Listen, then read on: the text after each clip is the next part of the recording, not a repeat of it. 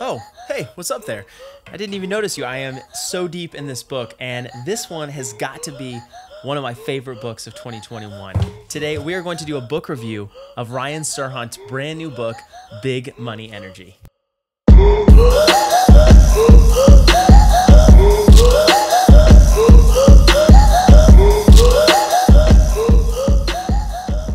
Guys? My name is Jonathan here at The Jono Show. And not only do we do these tech reviews and podcasts and all this other stuff, but one of my favorite things is reading books. Reading books have absolutely changed my life and they can change yours as well. And so I am excited to bring you this book review series that we've been doing. We've got a bunch of different books that I've reviewed, I've read, I've given you some of my notes on. And this one is a book that I am so excited on. It's a brand new book by Ryan Serhant. He does have another book that I gotta admit I haven't read yet.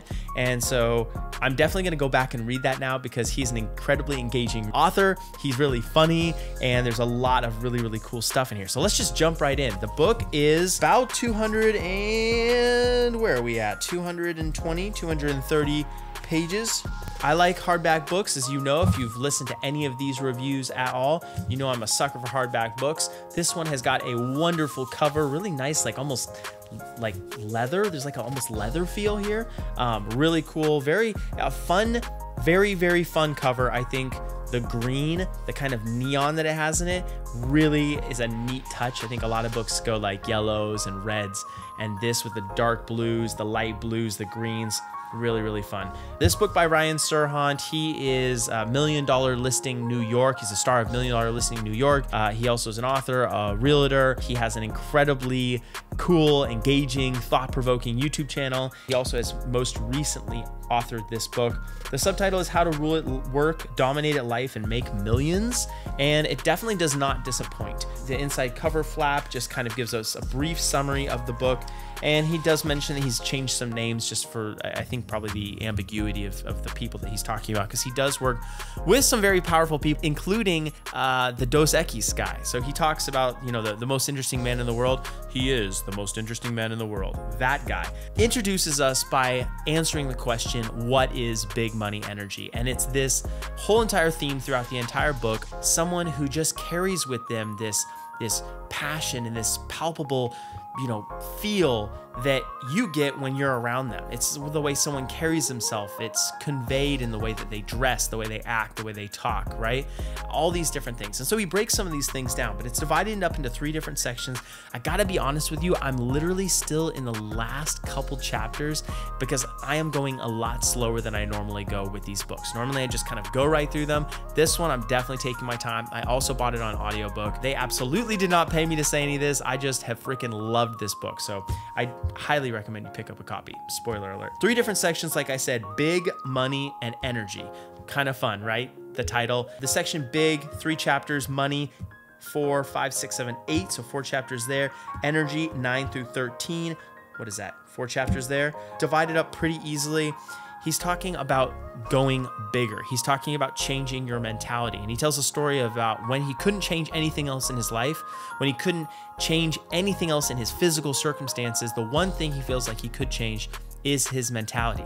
And I know if you're listening to this right now, I would bet you that the quickest thing you can change is your mentality. You know, it doesn't take a lot of money. You won't have to pay off a house, a car. You won't have to invest a lot of money. You won't have to do anything except deal with you yourself, the way that you think about things, the way your mindset goes, and you will have to make a decision how you want to think. You know, do you want to think positively? Do you want to think negatively? And he goes and takes us through his journey from being really insecure, feeling not confident, uh, really, really unconfident all throughout his kind of beginning journey as he was an aspiring actor and as he, you know, just started getting into real estate to now selling bigger and bigger and bigger deals. And he takes us through the mentality shift. The second chapter, Be the Future, You Right Now. And I love that. I love that this there's this concept there of like there's the present version of you and then there's the future version of you. And that future version of you is different. That future version of you is engaging and exciting and, you know,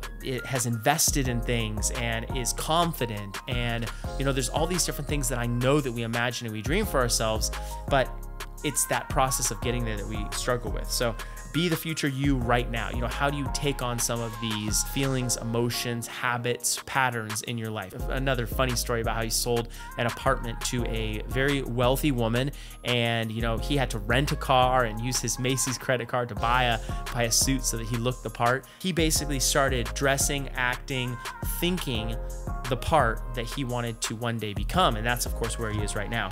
Uh, amateur hour over is number three. Then he moves on to the next section, money. And I loved this one because it was full of really, really practical tactics that people, I think, can use. I think people, more people should be using. Uh, my favorite here is in chapter seven, the thousand minute rule. He talks about how we have approximately 1900 minutes, 900 of those were sleeping. We're left with about a thousand minutes. He talks about you know how you prioritize your time how you prioritize using those thousand minutes really really really matters. And i love that. Like that's so easy to skip over. It's so easy to say oh i need to be doing this or i need to be doing that when in fact that's not the best way you could spend your time. There are other people who are more qualified to do it or there are other people who can do it while you should spend your time on something else. And i think this specifically applies to business owners but you know whether it is really anything in life, whether you are an employee, you're working with someone else, whether you're part of an organization, whether you're, uh, you know, a college student, like understanding the value of your time and starting to value your time really, really will make a huge difference. The art of selective communication, uh, this is how you dominate people who earn more. He's just talking about the approach and how different people, the hacks, I guess, that people use who are successful exude this big money energy. The last part is energy. Chapter 9, Evolve or Die, 10 being self made, 11 build your round table, 12 opportunity is always knocking, and 13 why not me, which I think is the question that we all should be asking ourselves.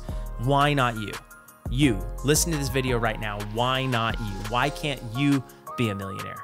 Why can't you have a fancy car or have a big house or have all of the things that you dream? And it's going to be different for each one of us, right? I'm just saying some things that might have popped up, but maybe it's having a wonderful relationship. Maybe it's having kids. Maybe it's having, you know, whatever it is in your life.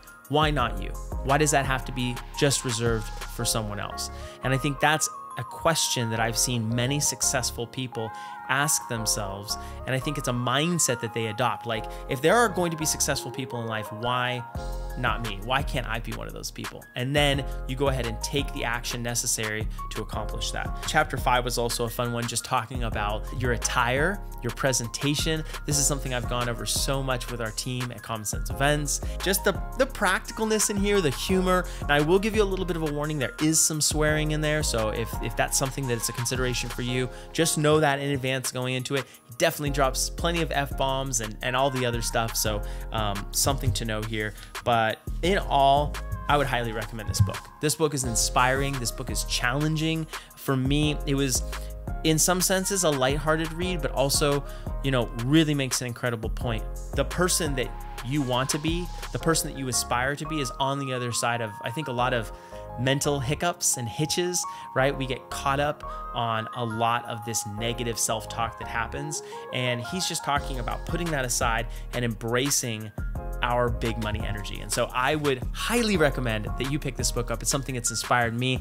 Like I said, I have it on audiobook and I will definitely be diving in more. I'll probably read it again as well because I really, really enjoyed reading it. So, yeah, if you like this book review and others, go ahead and uh, subscribe to our channel. We'd absolutely love you as part of our community hit that little alert bell as well because we do release these videos weekly and we're actually getting faster now. Uh, we're releasing multiple videos per week. I think we're at like three per week. The team is cranking. So um, we'd love for you to join us on that journey and we'll see you guys in the next video.